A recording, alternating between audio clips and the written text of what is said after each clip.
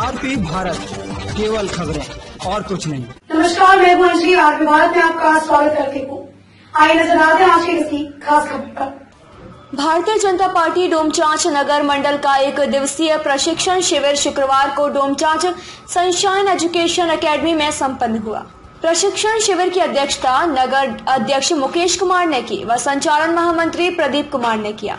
प्रशिक्षण शिविर कार्यक्रम की शुरुआत जिला अध्यक्ष नितेश चंद्रवंशी नवल शाही मंडल प्रभारी सुनील कुमार सिन्हा, परमेश्वर यादव, महेंद्र यादव, सूरज प्रताप द्वारा संयुक्त रूप से डॉक्टर श्यामा प्रसाद मुखर्जी, पंडित दीनदयाल उपाध्याय और पूर्व प्रधानमंत्री अटल बिहारी वाजपेयी के छायाचित्र पर श्रद्धा सुमन अर्पित कर तथा दीप प्रज्वलित कर किया गया।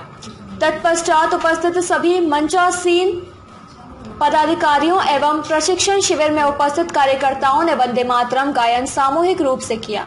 कार्यक्रम में उद्घाटन सत्र को जिला अध्यक्ष नीतेश चंद्रवंशी ने संपन्न किया।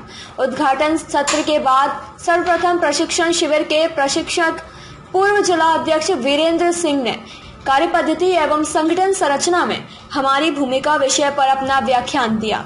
प्रशिक्षक के रूप में उक्त शिविर में पूर्व जिला अध्यक्ष प्रकाश राम, जिला मीडिया प्रभारी मनोज कुमार चन्नू, वरिष्ठ नेता परमेश्वर यादव, जिला अध्यक्ष नितेश चंद्रवंशी नवल शाही मंडल प्रभारी सुनील कुमार सिन्हा जिला मंत्री महेंद्र यादव आदि ने भी अलग अलग विषयों पर कार्यकर्ताओं को भारतीय जनता पार्टी के विचार परिवार, भारत की वैचारिक मुख्य धारा और हमारी विचारधारा, व्यक्तित्व विकास, सोशल मीडिया का प्रभावी उपयोग, आत्मनिर्भरता के साथ राष्ट्रीय सुरक्षा, भाजपा एवं हमारा दायित्व विषयों पर विस्तार से अपनी बातों को रखा। इस अवसर पर जिला मंत्री बैद्यनाथ यादव डोमचांच ग्रामीण मंडल अध्यक्ष रामदेव पासवान सहित सैकड़ों भाजपा कार्यकर्ता मौजूद थे।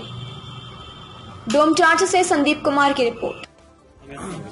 तैयारी करवाई क्या क्या आज देने का कार्य किया है। और ये केंद्र की योजना है। झारखंड प्रांत में भी ये प्रशिक्षण का कार्यक्रम सभी जिलों में हो रहा है। और ज़िले में एक निर्देशित किया गया है कि प्रत्येक मंडल में प्रशिक्षण का कार्य होना है और इस निमित्त हमारा ये डोमचांच नगर मंडल में आज प्रशिक्षण का कार्यक्रम हो रहा है। कार्यकर्ताओं को भारतीय जनता पार्टी का इतिहास, विकास, सरकार के द्वारा किए गए कार्य देश को आत्मनिर्भर बनाने के लिए सरकार का प्रयास और हमारे संगठन में अपने जो विचार परिवार के जो संगठन हैं अलग अलग संगठन, बहुत सारे जो राष्ट्र के काम को करने के लिए यहाँ लगे हुए हैं तो उसके निमित्त हम अपने कार्यकर्ताओं को बताने के लिए यहाँ पर उपस्थित हुए हैं। ये प्रशिक्षण कार्यकर्ताओं को प्रशिक्षित करके उनको संगठन के बारे में जानकारी देने का कार्य करता है। दमदार निर्माण का भरोसा, लाल स्टील टीएमटी बार्स। हर निर्माण के लिए उपयोग, लाल स्टील टीएमटी बार्स। रिश्ता, मजबूती का।